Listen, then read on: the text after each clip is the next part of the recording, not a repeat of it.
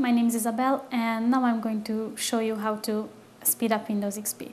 Sometimes Windows XP works slowly because uh, the system has too many unnecessary informations that we have to clean up. Uh, we know several tools for cleaning the system and now I'm going to show you one of them.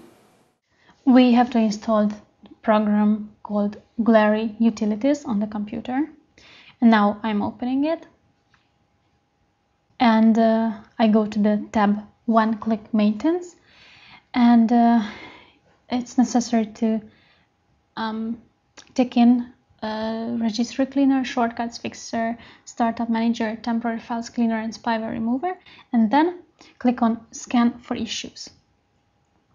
When the process is finished, your Windows will work better and faster.